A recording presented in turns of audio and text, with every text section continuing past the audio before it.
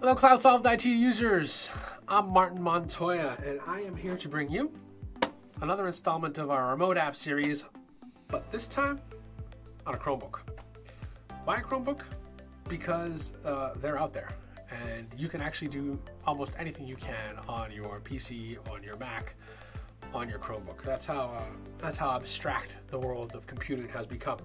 So, with that being said, uh, this video is going to center around um, the setup and installation of remote app from our Chrome-based device. Uh, I'm going to set up the screen sharing here so you can see what I'm doing on the big screen. There you go. Now you can see my screen.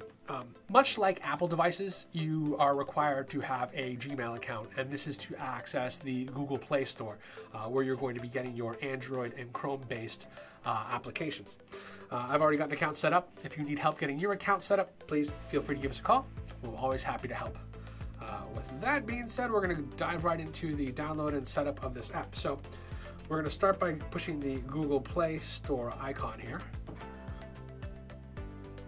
This is going to bring us to the Google Play App Store. I'm going to do a quick search for remote desktop.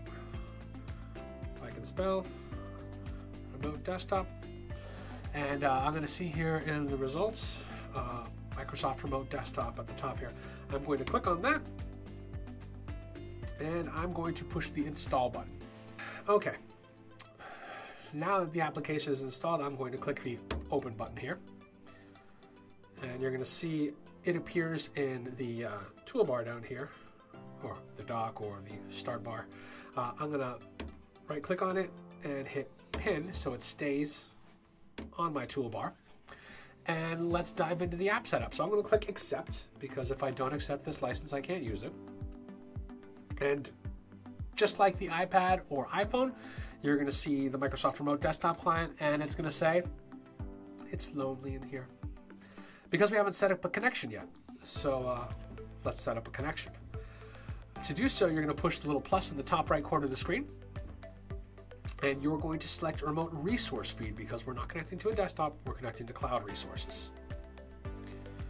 I'm going to enter the email address associated with the account. So demo at cloudsolvedit.com. And I'm going to hit this little drop down here and I'm going to add the user account so it saves my information in the client. So again, demo at cloudsolvedit.com. Enter your password and hit save. And now when I push save, it's going to say, oh, discovered the remote resource feed, remote.cloudsolvedit.com. That's me, and those are the apps I want, so I'm going to hit save again. And within seconds, you can see all the applications have opened up in the application feed on my Chromebook.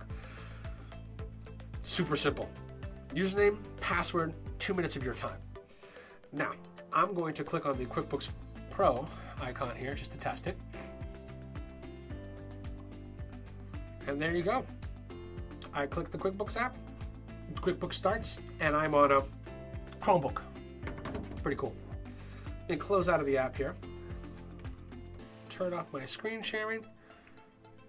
And just like that, Chromebook running QuickBooks in the cloud. Apple, MacBook, PC, Surface, doesn't matter. The device does not matter.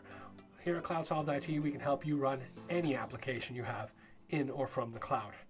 I want to thank you guys for taking the time to watch this remote app Chromebook setup video.